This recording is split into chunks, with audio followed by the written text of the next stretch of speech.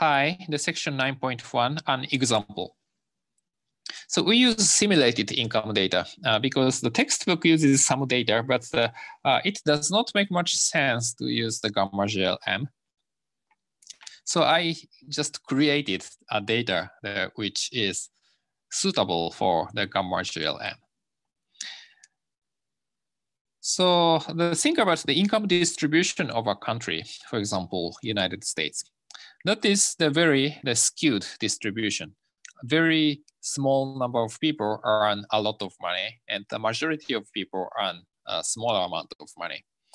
And the income distribution is often similar to the chi-square distribution. So chi-square distribution also has the uh, parameter, but uh, typically like this. So maybe a little more skewed like this. And this is actually the special case of the gamma distribution. And the chi-square distribution have one parameter k, and expect, ex, expectation of chi-square k is equal to k. And this is actually the sum of the k um, independent and identically distributed the standard normal random variables.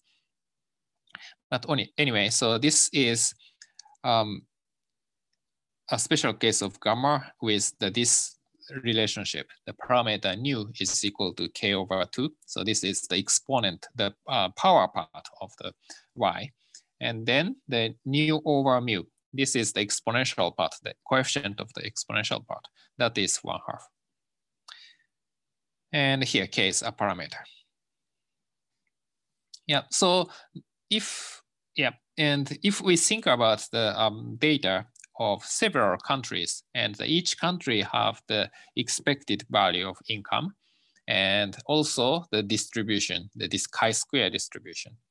Then the error is not distributed normal, but uh, distributed as chi-square. So the gamma GLM should work better than linear model, for example. So we generate the random variables in that way. So Yij I is country and J is the J's observation within the country. We define this as the random variable, the 2500 times I times the chi-square 4. So chi-square 4 has mean 4, expectation is 4. Expectation of this is 4. So the i is equal to 1, then expectation of yij is equal to 10,000. i is equal to 2, then expectation is 20,000 and the three and the four, 30 and 40,000. And uh, we generate 30, da 30 data points for each the country. So we have four countries, one, two, three, four, and we have 30 observations each. So that is the data we generated. Then the expectation of y is proportional to i. So we just defined the expectation of the y is equal to the 10,000 for i is equal to 1, 20,000 for i is equal to 2, and the 30,000 for i is equal to 3, and so on. So um, actually the EY is proportional. So EY is 10,000 times i. So this relationship between y and i are linear. So in that sense, probably the gamma GLM with identity link. The eta is equal to mu. Uh, sorry, this is the mu eta. Eta is equal to mu should fit better than the linear model. Yeah, so now that we use the simulated data, so we set seed first, then we have the 30 observations each, and in total, 30 times four, so 120 observations. And for each country that we generate random variable, that is the chi-square random variable with degrees of freedom four, then we multiply 2,500 for i is equal to one, and 5,000 for i is equal to two, and so on. Then we have in total the 120 observations, 30 observations each for four countries. And we make box plot, then box plot looks like this. So basically this is proportional, but you can see that we have many outliers here uh, because the distribution within a country is chi-square, so not the symmetric. So the, um, if we use usual box plot, um, then we only have outliers on the upper side of the distribution. So linear regression should not work well in this case because of the error distribution. So this is the linear regression result. Intercept is almost zero. I mean, the negative, the 1,900, but standard deviation is large. So remember that basically y is approximately the 10,000 times i. So intercept is around zero, that is reasonable. And the coefficient is 11,000 and the standard error, the 1,600. So it's around 10,000, so that's reasonable and a t-value 6.806. And the, yeah, we have several um, um, statistics. So residual standard error. So standard size of error is the 20,000, 160. And AIC, basically this is the fit. AIC is the 2,723. So this will be compared with the GLM, gamma GLM later. Okay, but anyway, uh, still that we can detect the significant significance for the coefficient for country that is around the 11,000. So that's uh, reasonable compared to the truth. Yeah, so another way to fit the linear regression is to take log of income first. So you can see in the box plot that the income is skewed to the right. So if we take logarithm or square root or any the convex function, then it becomes more normal. And since we have taken logarithm, the estimates are totally different. So intercept 8.3 and the coefficient for country 0.54. And the t-value is a little more significant, uh, probably because the log transformation is more appropriate, appropriate than doing nothing. These numbers are not comparable because we are using log scale. Also, we I didn't calculate AIC because anyway, it's not comparable. So the Y has been changed. So the AIC uh, cannot be uh, compared. So next one is the gamma GLM with identity link. So GLM and the family gamma, then link identity. Then, okay, so coefficients are, are kind of similar to linear regression. In a linear regression, we have the different coefficient. So the first coefficient was actually the negative in the linear regression, LM1, negative 1,951, and the coefficient 11204. So slight, slightly different. Actually, it gets um, actually a better direction. So intercept, the true intercept is zero, and the true coefficient for country is the 10,000. So it approaches to the truth.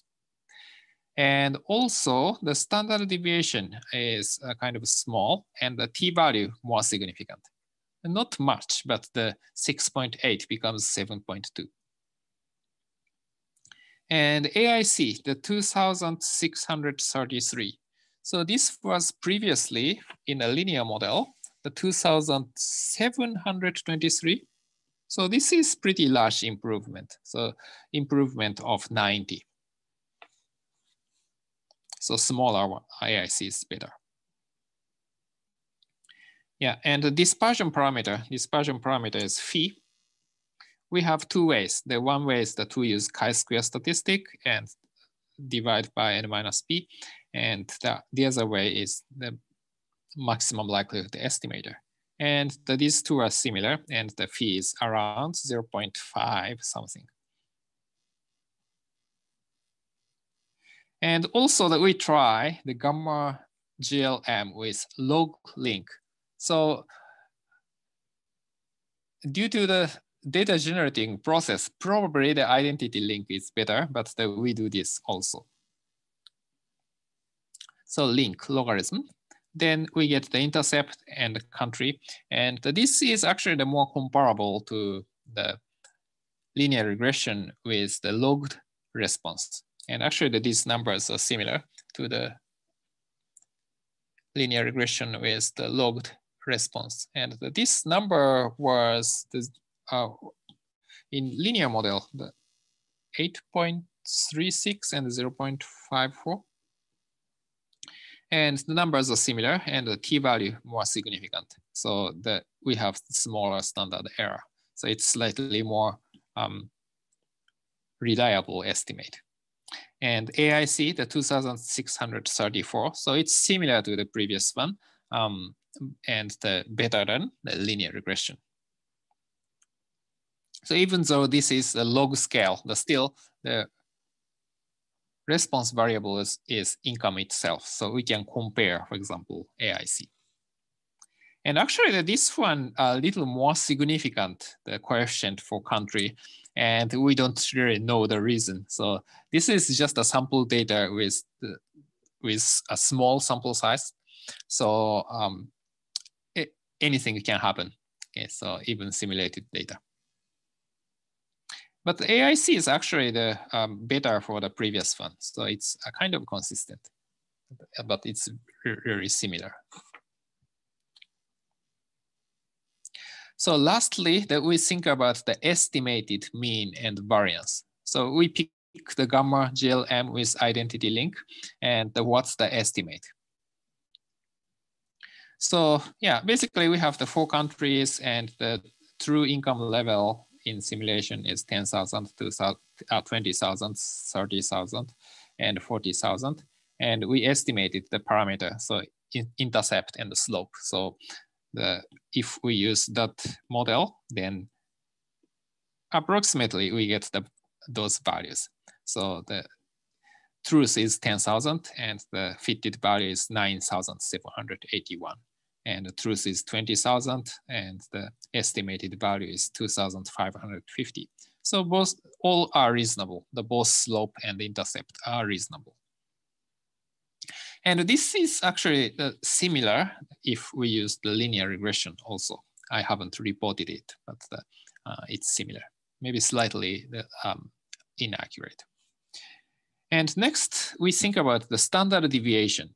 So the standard deviation, so the variance of y was the square of expectation divided by parameter nu. So standard deviation of y is expectation of y over the square root of nu. And the square root of nu, one over square root of nu is the square root of phi.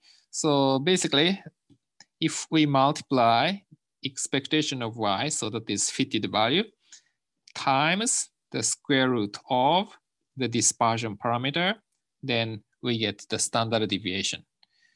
And you can see that the standard deviations are different depending on the country.